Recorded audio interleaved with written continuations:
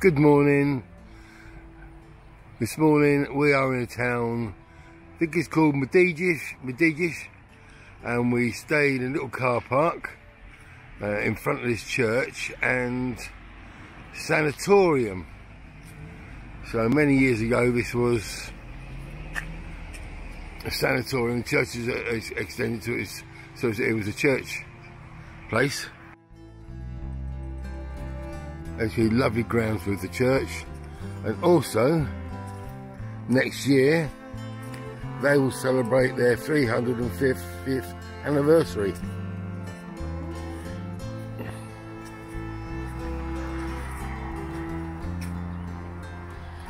And there's the high street, very quiet. Over there in the corner with the yellow sign is a shop.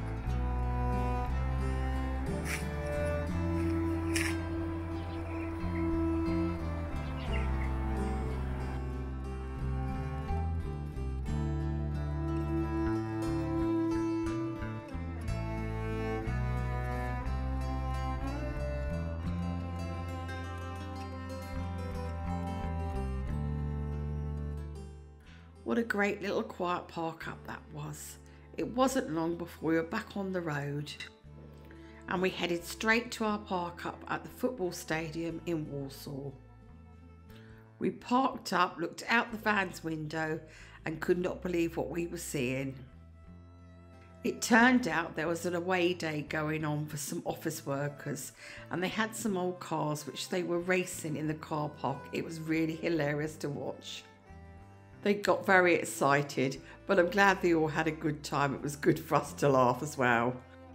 So I get to sit in the front and these three squashed in the back. Are you there, Mr. D? I am. I can just see you. We're just crossing over the river now, which is the Vistula River again.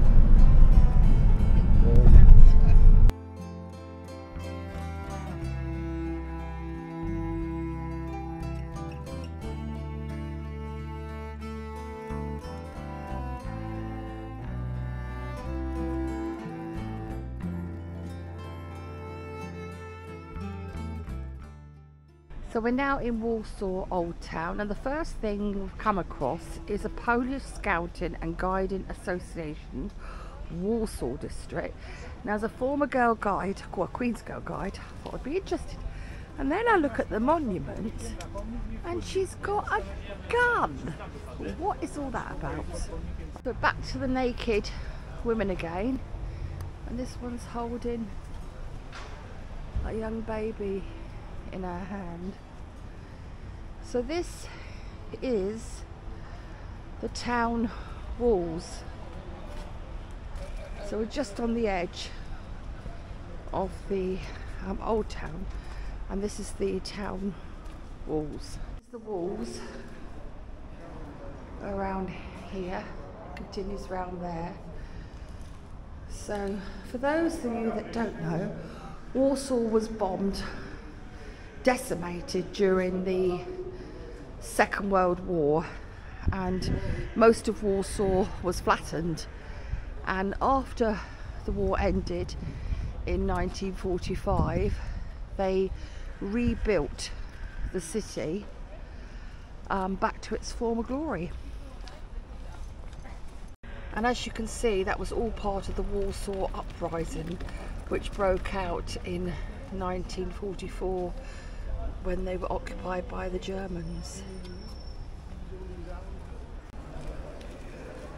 All across this city you can see where the um, bombing took place and they've deliberately left the lines uh, so you can aware of it. So this building was demolished right down to this level. A little Polish shop there. Now, I don't know about you guys, but looking around at these buildings, I think they made a pretty good job of reconstructing this town. So, I have found the tourist information, got my city map. Um, it's not so clear as I want to run, but we'll see what we can do. And in front of me is the Royal Palace, this nice big pink building. In the 16th century, the royal palace um, host was a host to lots of royal monarchs, and um, these days it's a museum holding lots of art, literature. Still quite a prominent feature in the old market square where I am standing now. So in 2021 it was the 50th anniversary of the commencement of work on the reconstruction of the Royal Castle in Warsaw, which like I say was completely destroyed by the German army during the Second World War. You can just see this is Warsaw, completely decimated, and this is what was left of the castle when it was bombed. And of course now, as you see, it's back to its former glory. Behind the Royal Palace in the distance is the football stadium and that is where our motorhomes are parked. If I swing round, there's the city halls again. So this is a memorial to the architect that rebuilt Warsaw after the war, Jan Zakwok Torek. And this, he was 83 when he died by the looks of things. Mr. D, are you alright, Mr. D? Fine, thank you, yeah. Where are you off to? You're going to the castle. yeah. Warsaw, Warsaw Castle. We're just going into the courtyard of the castle to have a look around. They've done a pretty good job of building this place back up again.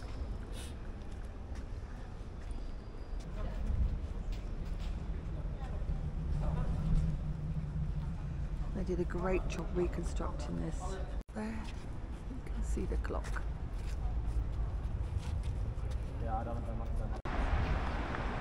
And just a different view of the Royal Palace, which is a very prominent part of this square in Warsaw. And that over there is St Martin's Church. And that the column in front of us is King Sigmund's column. And right on cue, we have stumbled across a Polish wedding. How cute is that? Bless them. May they live long and happy in their married life. So this is a wishing bell situated just it in front of the cathedral and legend has it if you walk around three times your wish will come true. So Mr. D, off you go. Mr. D is now walking around the wishing bell and he's got to go around three times for his wishes to come true. Hopefully it's a good wish that I'm in the wish as well. The viewpoint over the Wisła River, but the name translates as shit hill, dunghill, if I want to be more polite. Apparently, what I'm standing on was the dumping ground for all the old town's waste, and it grew over time, and the shape can be best seen from the bottom down there, but I'm not going down there. At one stage, it was renowned for its healing properties. People with obscene, obscene amounts of money would come here. Sorry, it's tickling me. This would be buried up to their necks in rubbish in a supposed cure for syphilis, which didn't work as it turned out. I've just read that out of the town guy, but how interesting that we're both standing. How do you feel, Mr. D? You're standing on Shit Hill. Yeah, it's quite good there, eh? Jill. Shit Hill. Yeah, Right, let's go on. let's go on. Just been in the souvenir shop and just noticed this restaurant. How pretty is that? Everywhere's getting ready for Halloween at the moment.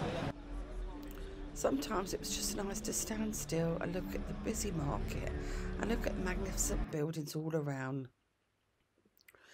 And then you come across the unexpected.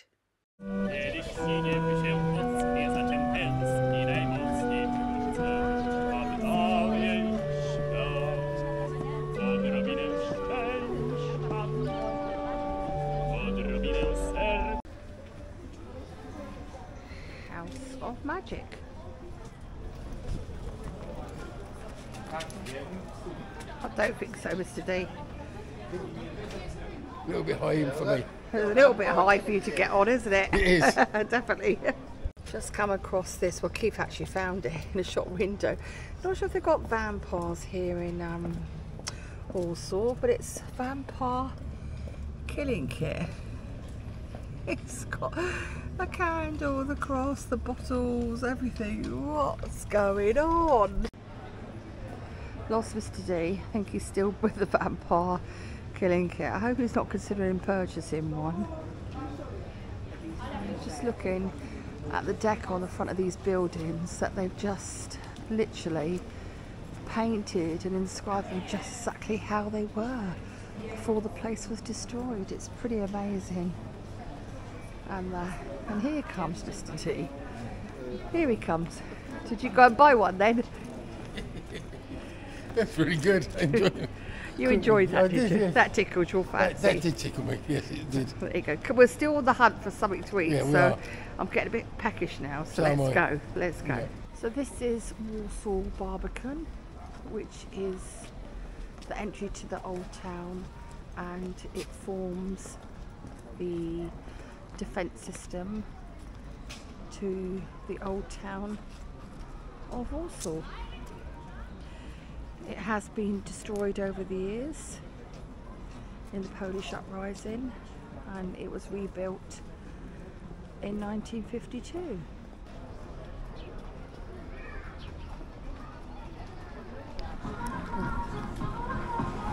And now we're out into the new town.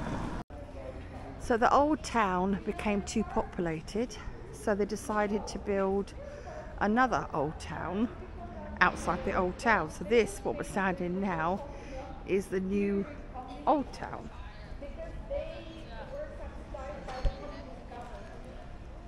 Bit confusing, I know.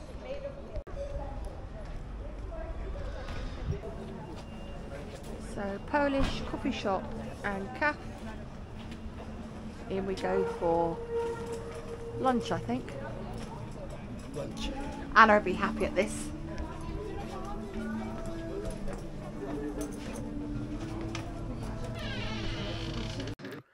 Unfortunately, there was no room there, so we continued looking for somewhere to have our lunch and walked back up towards the market square when we came across this little man feeding all the birds. There were hundreds of them.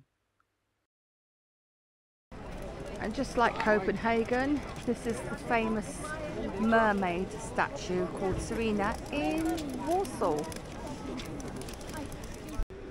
Nice little church there, quite tall, called the Sanctuary of Our Lady of Graces. Yellow pasty, could this be our lunch break? Let's see. I've been corrected, apparently it's a dumpling. No good. We're still on the hunt. Now we have a big dancing bear. So we finally settled on Cinema Paradiso, which is an Italian restaurant. And we've ordered a pizza and chips for us to share. We're starving. After finishing a lovely lunch, we headed back towards the vans, passing some more interesting places on the way. St Joseph's Church and the viewing tower. Okay. This is number 2022 Kanonia and it's the smallest house built and it was built at just two meters to evade paying taxes. So, yeah, two meters wide. Interesting fact for you guys. This is called a Duna, which is translated as the Blue Archway, and is one of the most picturesque sights in the city. We actually didn't take any photos that time um, because we didn't feel the need to, but we did take lots of photos for you to enjoy. So that concludes Warsaw. I hope you enjoyed it as much as we did. Now, if you haven't subscribed to our channel, please subscribe and feel free to leave a comment. It does help grow our channel.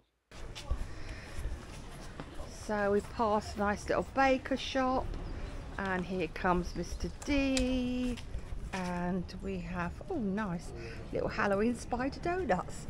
I hope there's two of those, one for me as well. Yes, there is. there is. he, he, he did to hesitate then, didn't you? okay. Have them up with a nice cup of tea.